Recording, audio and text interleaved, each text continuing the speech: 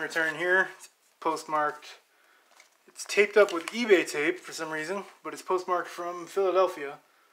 It was a self-seal envelope, so taping it up was a little unnecessary and makes it harder to open.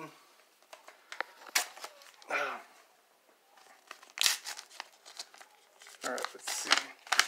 It is a Gregg Jefferies. It's not a TTM, it's from a private signing, but Gregg Jefferies for my set. So, there we go. I was getting kind of worried about this one because there hadn't been any updates on it, but here we go. They came through.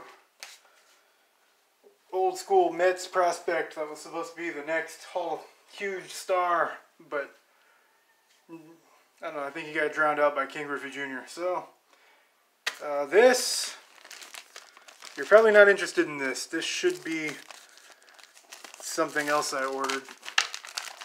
Another gun part.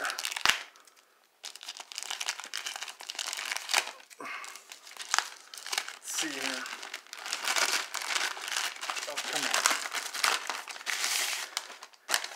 on. And my lights are flickering for some reason. Come on, get off of there. That is, it looks like it might be the right part. Might be a little big. But it looks like the same one. It might be. Um, I compared it to this one that broke. It's an extractor for a shotgun.